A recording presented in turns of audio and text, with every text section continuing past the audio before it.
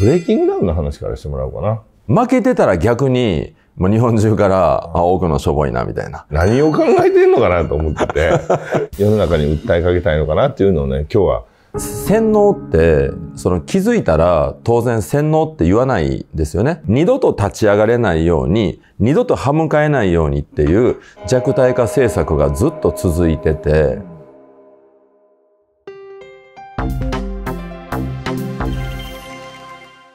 はい、えー、皆さんこんにちは。東京美容外科の麻生徹です。今日はですね、あの、ごぼうの塔の奥野さんをお迎えしてお話聞いていきたいと思います。よろしくお願いします。よろしくお願いします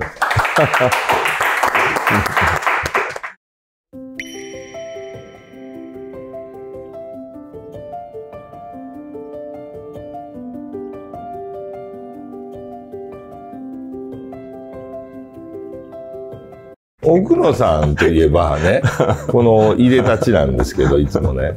僕初めてお会いしたのね。これ、これね、ちょ言言っていいですか、はい。あの、もうね、僕新宿に住んでた時なんで、そうそうです10年以上前に、先生が、その、ハゲ薬をやるって言って、で、自分が沖縄のある大学に、うん。あの、まあ、何千万か入れて、うん。その、まあ、研究、お手伝いしてたことがあって、うん。多分同じ人ですよね。そうそうです。よ、うんうん。でそれをそのサンプルをねそれどんなんなんて今出来上がってんのどんなんなんみたいなのを新宿の家に先生来てくれて、うん。そこで渡したことがあるんですよね、うん。それが一番初め。で僕新宿に住んでた時だからもう10年以上前。10年以上前ですね。だから僕が AJ スキンクリニックを始める前ぐらいで、うん、これから始めんねんってそう、ハゲ言ってて。薬の研究をって言ってた時ですよね。その時奥野さんはね、なんか紋付き袴だったですよ。ゆ浴衣羽織ってましたよね。浴衣か、うん。まあなんていうか和装で、で、あの刀とか置いてましたよね。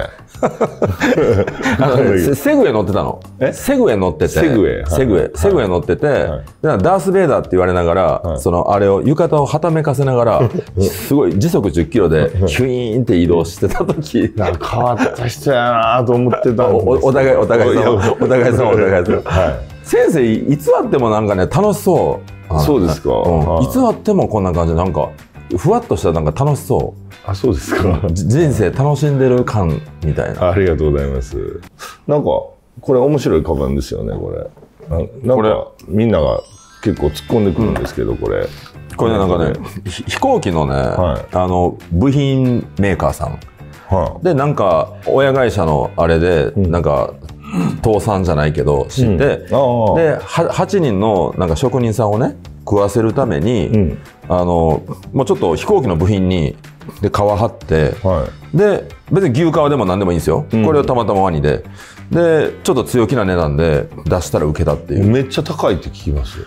これまあ高いっすよね、で 飛行機の部品ですもんね。うん。でもあのなんかジョニー・デップの誕生日にとか、はい。なんかそんな風になってって、はい。で海外で受けて、ん。で逆輸入で。セレブが持ってるみたいな。なんかね頑固親父なんで、はい。この作ってる人が、はい。はい伊勢丹と喧嘩したりするんですよ。あだから流通に乗らない。あ。なるほど、なるほど。そういうそうそう。変わったカバンなんですね。だ先生とか自分みたいな、変わり者がおもろいやんみたいなこんな格好してますけどね。絵力で負けたくないなと思ってね。今着替えてきたんですよ、ね。負けず嫌い 今日ね、いろんな話聞いていきたいと思います。よろしくお願いしますよろしくお願いします。いしますはい。奥野さんといえばね、この間のね、まず、ブレイキングダウンの話からしてもらおうかな。ちょっと。そこで前が見えへんな。サムネ用だったっていう普通の、メガネでお願いします。もう帽子ももういいから。はい。サムネ用で終わってサムネ用で終わってしまいましたあれですよね。ブレイキングダウン出ましたよね。はいはいはいはいあれもう出るとは思ってなくて、まあ見に行くのはね、あの席で会うのはあれなんですけど、実際のとこどう、どうだったんですか？あの、タイ所沢のタイソンさんと。所沢の大将席でなんか燃えてましたよね。あの日はいはい。僕行く予定やったんですよ。はいはい。エイトの時。はい、エイトの時行く予定で、うんちょっと体調悪くて行けなかったんですけど、うんうん。行ってたらあのちょうど奥野さんの隣ぐらいが僕の席やったから巻き込まれとったなと思って。行かんでよかったと思ってたら持ってる持ってる。あんなことになってて。実際どうだったんですか、はいややっぱりねなんか所沢のタイソンさんって名前があるから、やっぱり外録チャンネルでも200何十万再生回ったりしててで結局ねヤフーニュースにヤフーニュースの総総合ですよ、総合にあのブレイキングダウン3本入ったんですよ。3本見三回入ってきました来ました。ああの日ね、あの日。で3本ともタイソン奥野やったんですよ。だからボブ・サップジェロブレマンダ出てんのに。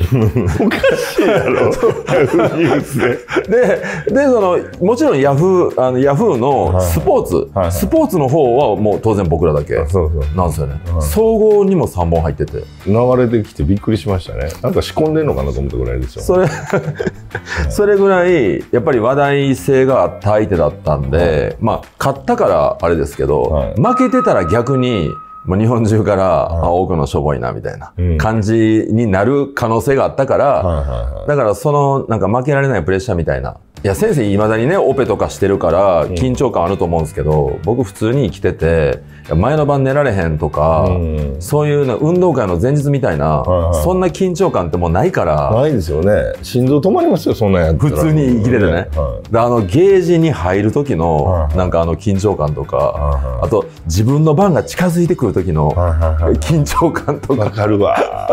うわああとあと何分前ですみたいな、はいはい。来るんですよ、はいなんかあと10分前なんで用意してくださいとか、はい。あの時のね緊張感とか味わえたんで、ん。普段味わえないような非日常。で結構相手も勝つ気でなんかもう家族とか所沢ファミリーみたいないっぱい連れてきててね。入場の時に。パさっきタイソンさんの方がさっき入ってきたのかな。やべえよ奥野さんと思って。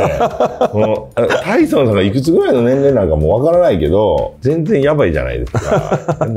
顔までタトゥーが入ってる人に絶対喧嘩売らないし絶対やる理由もやる必要もないのに何を考えてんのかなと思ってて、うん見る方としてはめちゃ面白いですけどね。でわーってこう家族や仲間やまで来てる中多分ね中でねで奥野さんもこう後で入ってきたら。まあまあでもあのそんなひょうひょうとした感じで いらっしゃいましたよね。無駄にでかいんで。ね。185センチ98キロあるんで、はいはいだはい。から前世紀のアンディ・フグよりもでかいんですよね。そうですよね。体だけは、ね。そうですそうです。いきなり蹴りに行ったからねもう結構まあまあ見え見えの蹴りやったけど。蹴れ蹴れ。みたいな聞こえてきて。こっち蹴りくんぞみたいな。バレてたっていう。ひょいって避けられて、うんであれでだから自分は力加減が分かんないでしょ、はいだから空気に向かってはい。思いっきり前蹴りしちゃって、はいで膝ぐちって左膝ぐちってなっちゃって、行き行きますよね。で、まあ、今お皿ずれちゃって、その座っちょっと座ってたら、は立つ時にお皿がついてこない。あで立ってたら座る時にお皿ついてこないっていう、階段みたいに曲げ伸ばし曲げ伸ばしっていうのがしんどいですよああんなほ1分間でも本気でやったらどっかけ怪我しますよね。いやーびっくりしました、40秒で3箇所。こんな壊れるんやおじさんと思って。はいはいはい。びっくりしました。みんな骨折ったり、青白王子も顔の骨折るし、鼻の骨折るし、う んすごいですよね。はいすごい。みんなのの命がけのね、まあまあ面白かったですけど、はい。でも買買ってよかったですよね。本当貴重な経験させていただいて、んなんか楽しかったなと思ってそうですね。よっぽど痛かったんやろね。大勢さんも後ろ向いたままもうこうやってたもんね。でもあれよく見たらねタイソンねこれグローブあの指が指が出てるグローブなんで、はいはい。指で金網を掴んで、はい。こう倒れないようにしてるんですよね。あだからなんか頭がグワングワンして、うん。倒れそうだったから倒れないように掴んでたって言ってましたね。ちょっと。軽い脳震盪だったんですかね、うん。やっぱあんだけ体重あるしね。お腹もだいぶ実は不節制してたから 脳が揺れたらひとたまりもないんですよね。もうそんな20代の時とちゃうねんから。お医者さんの意見。医者の医者の医者の意見、うん。無茶したらダメですよ。お互いにね。もう腕相撲とかぐらいにしといた方がいいですよねビンタ大会とかとかね。かもうちょっとあれは。ノーガードで殴り合ってどうすんねんあってそう本当。ご50歳やのに。そう。オープングローブですよしかも。オープングローブ。もうほとんど素手なんですよねあれ。うん。いや本当にいい経験を。そうですね。まあ、事故も起こらず良かったですが、まあみんな多分聞きたい話はここなんですけど、実際はでもブレイキングダウンに出たらもうこう名前も上がるし、みんなが奥野さんを知ってるし、うん。普段も歩いてたら奥野さんって声かけられるようになったじゃないですか。実際に奥野さんが何をね、世の中に訴えかけたいのかなっていうのをね、今日は聞きたくてね、ありがとうございおます。呼びしたんですけど、ありがとうございます。前にもよくね、あの、奥野さんの話を僕時々聞くんですけど、前は食料問題の話聞いたんですけど、うんうんこの、一番なんか今奥野さんが気になってるね、うんこの社会問題についてちょっとお聞きしたいなと思って。なんか、うん。僕そのまあ先生の番組なんでね、うん。なんかちょっと結構本音に近い感じではいはい。言わしてもらいますけど、はい。なんかやっぱり洗脳って、うん。その気づいたら当然洗脳って言わないですよね。うん。だからあのパールハーバーで真珠湾攻撃でうん。日本がガーン仕掛けて、うん。でそのまあ日本負けて、うん。でその日本のことをうん。よく思ってると思いますか？とこの世界の支配者層が。うんまずそこなんですよね。うん。だからみんなその歴史の教科書で今は Google 先生で調べれるからねうん。あの実際は80年前まうでん。350年から400年間うん。そのアジアって植民地としてその白人たちに飼われてたんですよね。そうですよね。実際はね歴史をみんなね、知ら歴史ないからね。うん、これはまあ事実なんですよね。はいで80年前に日本が戦って、うん。でアジア諸国を本当に馬小屋の横で横でうん。言葉を教えたら結託するから、うん。言葉も教えてもらえずに、うん。馬小屋の横で飼われてたんですよ。400年間ね、うん。あアジアって、うん。それを解放したのが日本だから、うん。だから僕ら世界史の教科書でねうん。例えばタバコ産業綿工業、うん。プランテーション農業とかね、うん。世界史の時習うわけですよ、うん。第一次産業革命第二次産業革命ね、でもそりゃね栄えたでしょうねって、ん。だって人件費タダだもん。うん。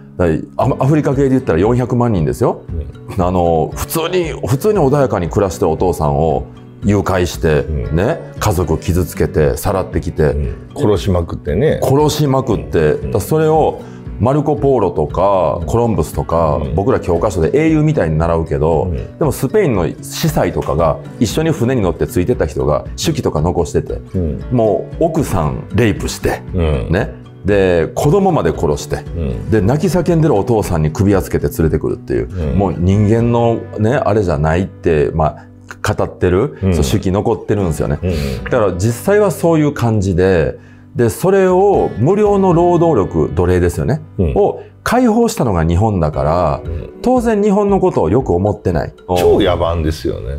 う、うんん すごいね先生のチャンネル大好きいやいや。だからねだから結局、その原子爆弾2回落とされてねそれそれ。で,、うんで東京大空襲なんかそのまずその東京都の周りを落とすわけ、ん爆弾。爆弾。で火の海にして逃げられないよ。逃げれないようにして、で2400万発。うん2400万発爆弾を落として、うん。まあ、火の海皆殺しにしたんですよね、うん。だからそれぐらいね日本のことを実はよく思ってないからだから世界 GDP 世界第2位だよ第3位だよっておだてられるけども、でもそもそも豚は太らせて食え。うん。勤勉で真面目で嘘をつかないっていう日本人うん。に対してその馬車馬のように働かせて、で搾取する。で日本人の生活は全く良くならないうんっていうこの仕組みに気づかないように、うん。テレビと新聞もコントロールされてるっていうのが、残念ながら日本なんですよね。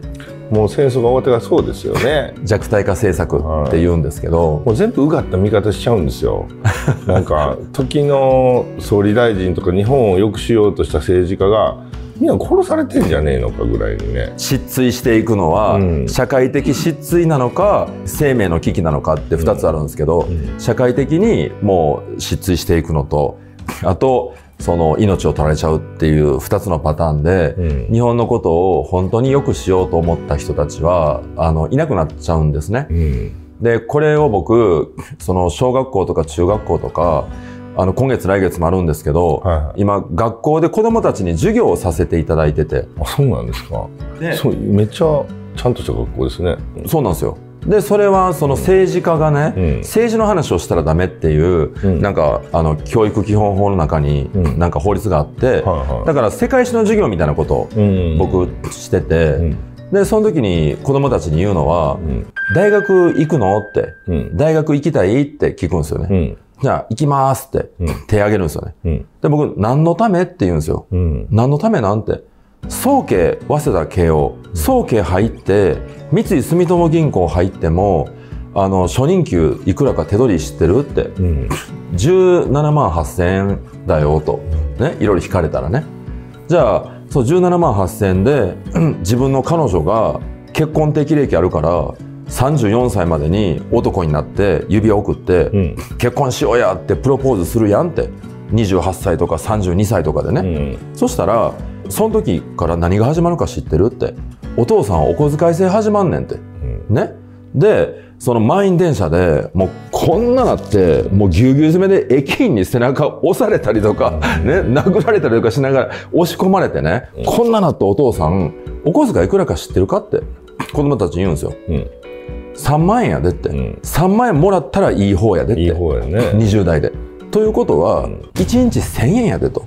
これ、タバコ代とコーヒー代とランチ代込みで1日1000円握りしめて、ね。で、まあ30代、40代になっていくじゃないですか。うんじゃあ、娘2人を私学に行かせるってなったら、無理よねお父さんのお小遣いね。で、まあ5万円とするじゃないですか。5万円って1日に割ったら1600円なんですよ。でね、それ1000円から15年ぐらいかけて1600円まで成長したんですよ。使えるお金がね、おお父さん。で、娘大きくなっていくじゃないですか。お父さんと同じ洗濯機で洗濯物洗うの嫌だとか言うわけですよ。娘ね。あるあるですよね。はい。お父さん1600円握りしめてお父さんのパンツ汚いとか、うん。お父さんがお風呂入った後私入れないよとか言うんですよ堂々と娘、うん。で家族の会話ね全員がスマホ見てシーン。でお父さんは1日1600円握りしめてで部下とか仲良くしてる人が亡くなったりするんですよ、ん。ね。それは冠婚葬祭で費用がいるわけですよ、ん。そしたら奥さんがねああなたってあの人でも仲良かったから3000円じゃ少ないわよねって香典とかね。1万円ずつまないとダメだよねって言うわけ、奥さんが、うんそうやなって。じゃああなたのお小遣いから1万円減らしとくねって。なんでやねん。だからね、そのせっかく15年かけて、1000 1日1000円が1600円までなったのに、、はい。きなり300円減るんですよ。はい。誰か部下が死んだら。ね。うーわって、300円減ったって。せっかく1600円になったのに、うん。1300円になってもうたやないかってね。うんだから100円200円の攻防をん。10年かけて戦うっていう。だから刑務所の中でね、うん。そのうん お小遣いお給料をもらってる人たちと同じような、アルバイトしてる息子たちに負けるような、そんな状況が何年続くか知ってるって。30年続くんですよ。うん。で50歳になってようやく6万円とか8万円ぐらいになるんですよ、うん。お小遣いが、うん。そしたら日本のお父さんって金曜日に部下を焼き鳥に連れてって悩みを聞いてやろうとかするんですよ、うん。すごいっすよ。いい人やね。いい人。だから頭が上がらない。うん。だからそれをねするためにみんなは大学に行くのって。うん。ね、でも選挙とか政治なんか興味ないでしょって。ワンチャン首相の名前フルネーム言われへんやろって。僕は授業で言うんですよ、うん。政治に全く興味ないやろって。でも君ら早稲田慶応出たとしてもでもし中大とか法政とか日大ぐらいのレベルだったらもっとすごいよと。もっと給料低いよと。それ30年行くねん。お父さんね。何のために大学行くんってなんでこんな世の中なのかそこに疑問持たないって。その授業料も高いですからね。授業も高い。ね。し、保険も高いしマンションのローン車のローンって言ったらね。じゃあそれはなんでなのっていうところで。それ医者の世界もそうなんですよ。あそうですか、はい。もうその研修医やって大学病院勤めてくっそ給料低くうて、ん。そこまでねもうトップ5%に入る偏差値の秀才がうん。やってる仕事内容たるやうん。ひどいんですよ。まあでも実際そう言いますよね。そうですね。言いますよね、うん。弁護士さんもうん。実際ね、うん。ものすごい、まあ、先生おっしゃったように 3%5% のトップの人がうんもう35万とかで行くわけです弁弁護士になってもね、はい。結局、教師もそうでしょ？まあ、先生もそうですよね。もんね、うん。もう本当に子供たちの模範とならなきゃいけないのに 3K じゃないですか、うん。うん。もうありゃあの日本の国これでいいんかってなりますよね。だからそのね、仕組みがなんとなくお医者さんになったらすごいとか、うん。なんとなく弁護士さんすごいって意味のない偏差値教育で、そのディスカッションも議論もしない、コミュニケーション能力を高めるような授業もない、うん。ただ暗記？であの、まあ、自尊心だけが育って僕たちは頭いいんだっていうふうに思ってるんですね、もうですねそう全く使わないですか？全く使わないですよね。全部ググれますから全く使わないんですよね、だからその僕レベルでね、はい。僕レベルで例えば月アメックスのカード1000万ぐらい切ってますと、うん。じゃあの飲み食いでね、じゃあ先生レベルもっとすもっと何倍もすごいと。じゃあじゃあねそれで代数期間も因数分解も微分積分もあのルートの計算がサインコサインタンジェント何にも使わないんですよ。だから本当に教えなきゃダメなのは何なのかっていうこととあと中国の富裕層が妊娠したら日本で出産するんですね今。うん。でメリーズ L、ん。だから紙おむつとか、ん。粉ミルクとか要は目に入れても痛くない赤ちゃんのためだったら、ね、お父さんお母さん何でもするじゃないですか、はい。でメイドインジャパンを買うんですよ、うん。ね中国と日本あんだけ政治的にバチバチやってんのに信用できるんですよ日本の製品がね。信用できるんですよ日本の製品がね、ん。じゃあ新幹線とかね、うん。小田原駅通過するあの光とののぞみ、ん。あのヒュンヒュンって新幹線ブレーキ踏んで3キロ止まれないから、ん。だからあのオペレーション日本しね1分1秒狂わず行きますもんね。狂わずに行くっていうあのオペレーション日本しかできないし、うんその渋滞の時のあの夕方の雨降ってる渋滞の時のバス停のバス時刻表通りに来るんですよね。うん。じゃあなんでってなんでこの渋滞を予測できたのって時刻表通りにバス停にバス到着するんですよ。これ日本しかできないですよ。うん。だから世界一勤勉で世界一まず真面目で嘘をつかない思いやりがあって優しくて見えないとこにも手を抜かないの日本だけがうん。財布を落としても帰ってくる。落とし物があったら交番届ける、この世界で唯一の日本だけがね、うん。なんで GDP を発表してる192カ国の平均経済成長率って139%ですよ。うん。でなんでカダフィ大佐のリビアのね、カダフィ大佐のリビアと日本だけがなんでマイナス20%成長なのと。こんなにあの世界でナンバーワンの品質日本一ってことは世界一ですから。うん。料理も技術も、お医者さんのね、うかもしれない。その日本だけがなんでマイナス20%成長なんですか？でスイスでも初任給70万円スタートなのに、ん。なんで日本17万8000スタートなんですか？これやられてるんだよ。でもその本当のことを言ったらダメなんだよね、じゃあそれをどうしたらいいんですかっていう時に日曜日にたった1時間選挙に行かないやんって。誰に入れても同じと思ってるやんって、うん。でもそれを本当に本当に変えてくれるっていう人が例えば僕50億もらったって全く動かないですね。だから悪いことして稼ぐんだったら別に表に出る必要ないですもん。うん。裏でこそこそやってますよ、もし悪いことして稼ぎたかったら、ん。わざわざこんな捕まえてくださいみたいなカメラの前にね顔出してやらない。うん。だからそもそもこの国を本当に本当にもうしがらみ取っ払って良くしたいっていう思ってる人をみんなが選ぶ。うん。でおじいちゃんおばあちゃん任せにしない。あなたたち君たちが自分で日曜日1時間でいいから時間作って投票に行く。それで政治を変えたらスイスですら初任給70万なんだから、うん。実は初任給100万円スタートのポテンシャルって当然日本ってあるわけで、うん。当たり前だけど。でもそれ何年かかかるけどもう仕組み自体がもうおかしすぎておかしい。ちょっとそれをやっつけんのに3年かかってそっから元に戻すのに3年かかるから6年ぐらいかかるかもしれないけど一回みんなでやってみいひんって。いやドバイなんか何もせんでも1000万もらえますからね、そうでしう。ょ、ん、自分の頭で考えるってことをうん。しないとダメですよね、そうなんですよ、うん、本当に。なんかおかしいな、おかしいなって。うん。世の中を見る目というか、うん。まあ暗記でいろいろね社会のこととか世界史のこととか悩んで何年に何が起きたとかまあいいじゃないですか、うん。でもその欧米諸国がやってきたことうん。日本が、ね、幕末どうなって、うん。どういう歴史をたどって今があって、うん。太平洋戦争があって今があってうん。なんで原爆を落とされたことが、ん。アメリカに、あんたらよよかったね、戦争続いてたらあんたら皆殺しで死んでたよ、うん。原爆落ちててよかったね。って言われなあかんねんって話。そうですよ。いやいやいやいやそうなんですよ。日本人でもいるんですよ、そう松本人志の話でね。そうね、松本人志さん泣いてましたもんね。泣いてましたねね、言ってましたようね。ん、あの日本人でも、うん。あの日本が野蛮で戦争してたからよくなかったんだよとかいうやついるんですよ。います、います。に何のために我々の我々ちゃうわ、まあ、日本人の先,、うん、うん、先祖がね、うん。頑張ってね。もう小さなあれですよ。うん。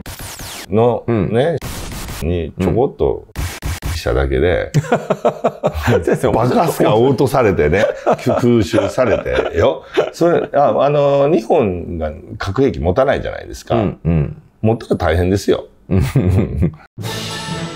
ですよ僕やったら。うんうんこの番組すごいね。いやいやだから持たせないんですよ。まあまあそうな三原則。そうアメリカそれぐらい怖いと思ってると思いますよ。そうなんですよ。はい、日本に核兵器を持たせない、持ち込ませない、その仕返しされたら怖いじゃないですか。そうそうそうそうはいそうそう。やったらやり返されるってこともやっぱ分かってるわけで、だから徹底的に弱体化政策、ん二度と立ち上がれないように二度と歯向かえないようにっていう弱体化政策がずっと続いてて、うん。さっき冒頭に先生がさ、その農業のことって言ったけど食料問題、ね。食料問題、はいはい。だから東京大学の農学部のね、うん。鈴木先生が最近 YouTube で本当のことを言ってくれてますけど、うん。あの600倍？600倍の成長ホルモンが入ってる、うん。そのアメリカの肉 EU 諸国どこも輸入禁止、うん。で当然アジアもタイとか厳しいし、うん。でアメリカもカリフォルニアの人とか食べないし、まあ、要は30ヶ月40ヶ月ってナチュラルに育てようと思ったらその間に病気になっちゃうかもしれないから、ん。リスクがあるんで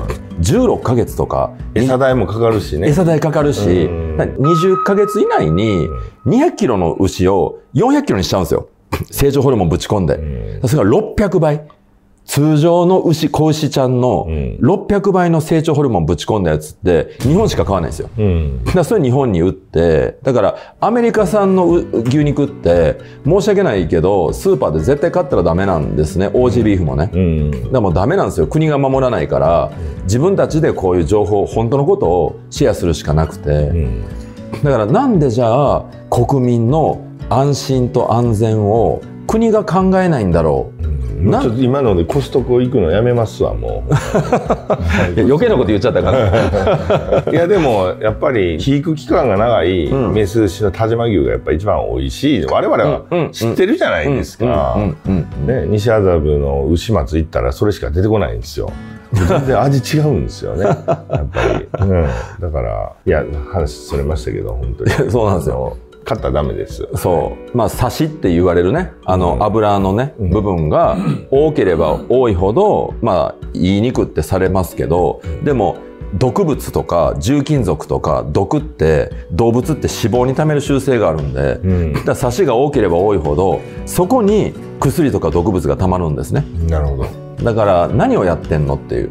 高いお金払って毒を食べてるっていう状態になっちゃうんでだからもう、まあ、僕は当たり前ですけど人の家とかにお呼ばれしたとしてもアメリカ産オーストラリア産僕は絶対食べない。うん。っていう長生きしたいんじゃなくてやっぱり影響力を持つ人たちが発言してあげないとうん。ダメだなと。サイレントマジョリティが一番ダメだから知ってる人が言わないっていうのが一番ダメなんで。そう。はい、えーこのチャンネルがいいねと思った方はいいねとチャンネル登録の方もお願いします